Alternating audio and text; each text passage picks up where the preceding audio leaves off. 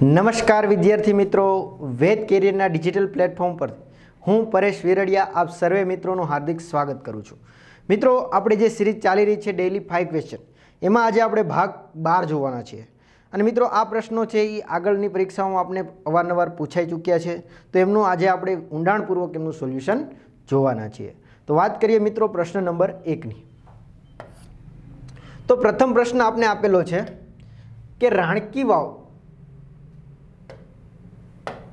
રાણકી વાવમાં આવેલી કઈ શિલ્પકૃતિ પ્રખ્યાત છે? Option A Nataraj. Option B Mahishasura Mardini. Option C નર્તકી. અને ઓપ્શન ડી દેવકુલી કુલી, કલી કુલિકાઓની. તો આમાંથી જે પ્રખ્યાત છે એમની વિશે વાત કરેલી છે મિત્રો. પણ યાદ રાખીશું, ચારે ચાર છે એ રાણકી વાવમાં આવેલી છે.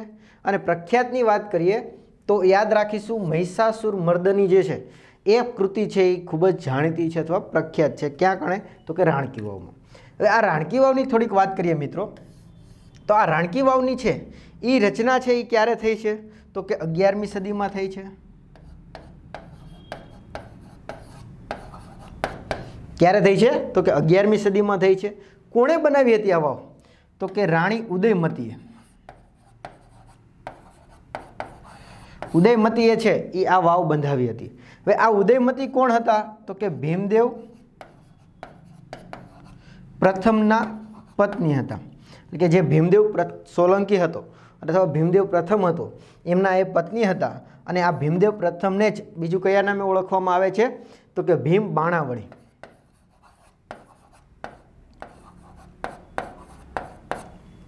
ભીમ બાણાવળી. હવે મિત્રો, આ વાવ છે એ ક્યારે બની? અગિયારમી સદીમાં. પણ પાછળથી એ જમીનમાં દટાઈ ગઈ હતી અને સાલ એટલે કે જ્યારે ભારત અને પાકિસ્તાનના ભાગલા પડ્યા આઝાદી પછી, તો પછી સાલ આવે છે ઓગણીસો અડસઠમાં. કઈ સાલમાં? તો કે ઓગણીસો અડસઠમાં આ રાણકી વાવનું ઉત્ખનન કરવામાં આવે છે અને આ વાવ મળી આવે છે. હવે આ વાવ કેટલા માળની છે? તો કે સાત માળની આ વાવ છે.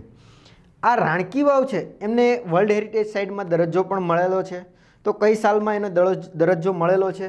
તો એ પણ આપણે યાદ રાખીશું. તો કે બે હજાર ચૌદની સાલમાં રાણકી વાવને છે એ વર્લ્ડ હેરિટેજ સાઇટમાં દરજ્જો મળેલો છે.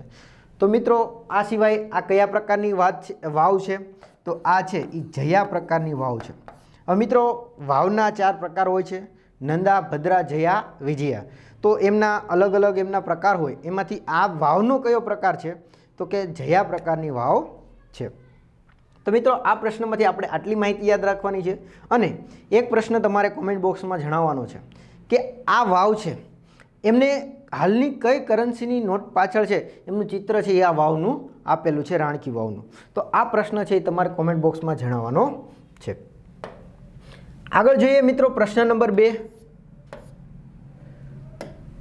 પ્રશ્ન નંબર બે આપેલો છે, કયા બંધારણીય સુધારાથી મિલકતનો અધિકારને મૂળભૂત અધિકાર તરીકે રદ કરવામાં આવ્યો છે.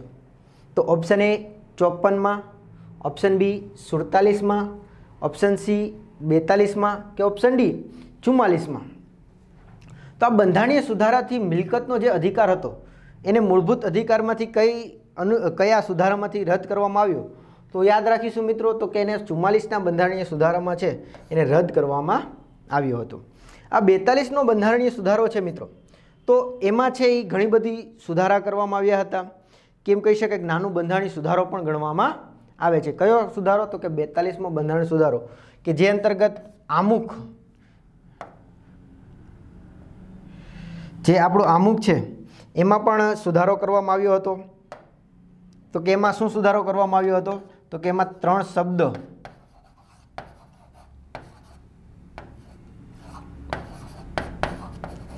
ઉમેરવામાં આવ્યા હતા. તો એ ત્રણ શબ્દ કયા કયા છે એ તમારે કોમેન્ટ બોક્સમાં જણાવવાનું છે. આ સિવાય મિત્રો વાત કરીએ બેતાલીસમાં બંધારણમાં સુધારામાં, તો કે ભાઈ મૂળભૂત ફરજો.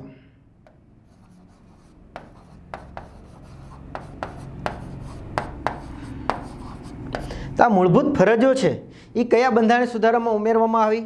તો એ પણ બેતાલીસમાં બંધારણ ફરજ બેતાલીસે, બેતાલીસમાં બંધારણ સુધારામાં છે એ ઉમેરવામાં આવી હતી. સરદાર સુવર્ણસિંહની જે સમિતિ હતી, એના દ્વારા છે એ સજેશન કરેલું હતું. અને એ અંતર્ગત છે મૂળભૂત ફરજો છે, એટલે કે ફંડામેન્ટલ ડ્યુટી છે એ ઉમેરવામાં આવી હતી. આ સિવાય વાત કરીએ મિત્રો લોકસભાની.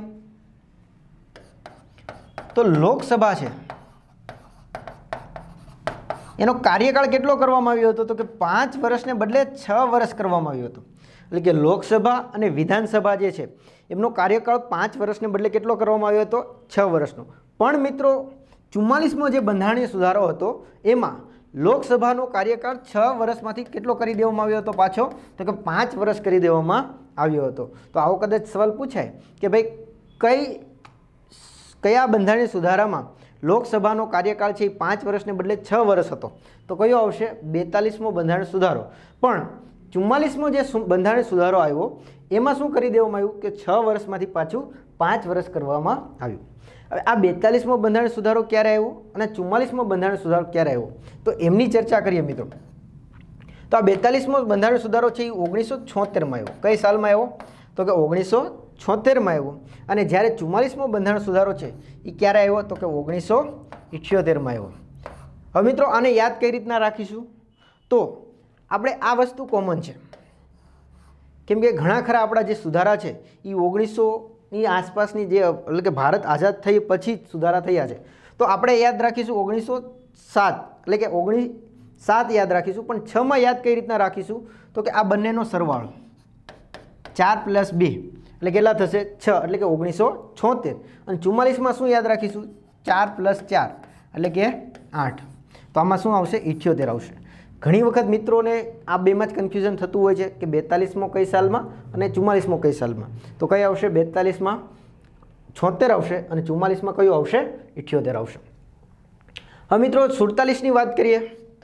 તો કે આમાં આપણે હથિયાર જે છે, એની આખી વાત કરેલી છે. એટલે કે આમાં હથિયારો આપણી માહિતી છે, એની આખી વાત શેમાં આવે છે? અનુચ્છેદ નંબર જો સુડતાલીસમાં આવે છે. તો મિત્રો, આમાંથી આપણે આટલી માહિતી યાદ રાખીશું. આગળ જોઈએ પ્રશ્ન નંબર ત્રણ.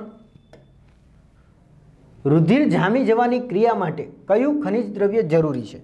Option A phosphorus, option B iodine, option C લોહ તત્વ અને ઓપ્શન ડી કેલ્શિયમ. એટલે કે રુધિર જામી જવા માટે કયું જરૂરી છે?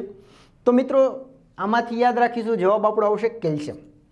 પણ જો એવો સવાલ પૂછાય કે રુધિર જામી જવા માટે કયું વિટામિન જરૂરી છે? વિટામિન. તો વિટામિન કયું આવશે મિત્રો? તો કે કે જે કે જે વિટામિન છે, એ છે એ રુધિર જામી જવા માટે જરૂરી છે. તો કેલ્શિયમ તત્વ જો ખનિજ દ્રવ્ય પૂછાય તો કયું આવશે? કેલ્શિયમ. અને આ સિવાય કેલ્શિયમ અને ફોસ્ફરસ છે. એ શેના માટે જરૂરી છે? તો કે હાડકા માટે અને દાંત માટે ખૂબ જ જરૂરી છે, એટલે કે એ ખનિજ દ્રવ્યો પણ એમાં ઉપયોગી બને છે. લોહ તત્વ લોહ તત્વ છે શેના માટે જરૂરી છે? તો કે હિમોગ્લોબિન માટે જરૂરી છે. અને આયોડિન, તો આયોડિનમાં ખાસ યાદ રાખીશું, તો કે આયોડિનમાં એક ઉણપ થાય, તો એક રોગ થાય છે કયો? તો કે ગોઈટર. તો તમને એવો સવાલ પૂછાય કે ગોઈટર નામનો રોગ છે એ શેની ઉણપથી થાય છે? તો કે આયોડિનની ઉણપથી થાય છે. તો મિત્રો, આ સવાલમાંથી આપણે આટલી માહિતી યાદ રાખીશું. આગળ જોઈએ પ્રશ્ન નંબર ચાર. તો પ્રશ્ન નંબર ચાર આપણે રિઝનિંગનો આપેલો છે.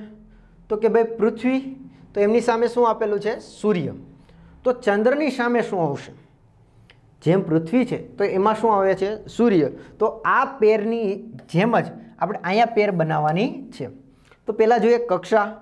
તો એ કક્ષા આવશે નહીં. હવે પહેલાં તો એક વસ્તુ એ જોવાની કે આ પહેલું લોજિક આપણે આપેલું છે. એ કયું આપેલું છે? અથવા કયા સંબંધથી જોડાયેલું છે? તો જુઓ મિત્રો, પૃથ્વી છે, એનો શેમાં સમાવેશ થાય છે? તો કે સૂર્યમાં. એટલે કે સૂર્ય આખું બ્રહ્માંડ આપણું જે છે, એમાં ગ્રહ તરીકે શું આવે છે? તો કે પૃથ્વી આવે છે. તો એવી જ રીતના લઈ શકાય. અથવા બીજી પણ આપણે લઈ શકાય મિત્રો લોજિક કે ભાઈ સૂર્યની આસપાસ કોણ ફરે છે? તો કે પૃથ્વી ફરે છે.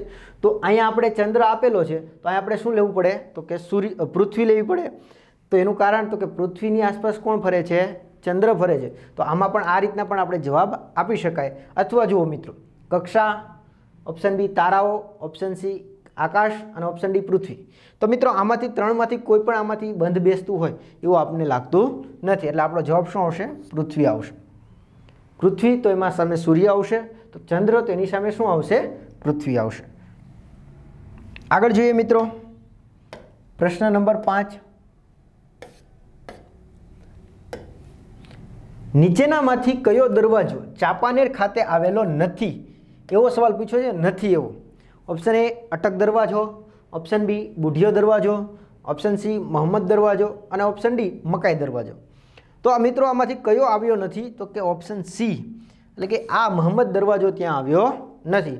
બાકીના બધા છે એ ક્યાં આવેલા છે? ચાંપાનેરમાં. હવે મિત્રો, ચાંપાનેરમાં છે. એ કોણે ડેવલપ કર્યું અથવા કોણે એનો વિસ્તાર કર્યો હતો? તો કે મિત્રો, પહેલાં તો જ્યારે ચાંપાનેરની વાત આવે, ત્યારે એક રાજા આવે, વનરાજ ચાવડા.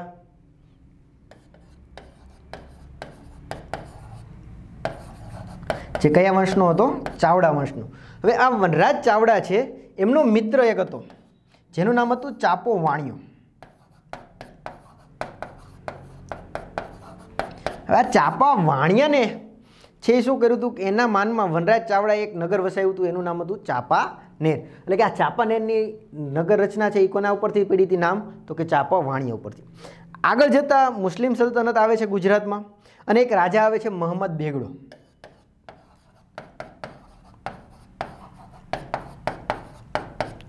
મોહમ્મદ બેગડો. હવે આને બેગડો કેમ કહેવાય છે? એની વાત કરીએ તો કે એને બે ગઢ જીતા હતા. જુનાગઢ અને પાવાગઢ. એટલે શરૂઆતમાં એને શું કહેવાતું? બે ગઢો. પણ પાછળથી એને શું કહેવાનું? બે ગઢો તરીકે ઓળખવા લાગ્યા. તો આ મોહમ્મદ બેગડો જે છે, એણે ચાંપાનેરને શું કર્યું હતો? એનો વિકાસ. અને એવું કહેવાય કે ચાંપાનેરને છે એ બીજું મક્કા મદીના, જે મુસ્લિમ લોકો માટેનું મક્કા મદીના પવિત્ર સ્થાન છે, એવી જ રીતના ચાંપાનેરને પણ પોતે શું કરવા માગતો હતો? બીજું મક્કા મદીના બનાવવા માગતો હતો. એટલા માટે એમણે ઘણી બધી મસ્જિદો છે કેવડા મસ્જિદ, નગીના મસ્જિદ, તો આ બધી જ વસ્તુ જુમા મસ્જિદ છે. એ બધું ક્યાં સ્થાપિત કર્યું હતું? તો કે ચાંપાનેરમાં એણે સ્થાપિત કર્યું હતું. અને આના હિસાબે જ ચાંપાનેરને પણ વર્લ્ડ હેરિટેજ સાઇટમાં મૂકવામાં આવ્યું હતું. જે ક્યારે મૂકવામાં આવ્યું હતું? તો કે બે હજાર ચારમાં છે. એને વર્લ્ડ હેરિટેજ સાઇટમાં મૂકવામાં આવ્યું હતું. તો મિત્રો, આવી કંઈક માહિતી આપણે આ વીડિયો લેક્ચરમાં યાદ રાખવાની છે. મિત્રો, વીડિયો ગમ્યો હોય તો લાઈક કરો અને તમારા મિત્રોને શેર કરો. જેથી તેમને પણ આ માહિતી ઉપયોગી બની રહે. તો આ વિડીયોમાં આપણે આટલું રાખીએ. જય હિન્દ જય ભારત અસ્તુ.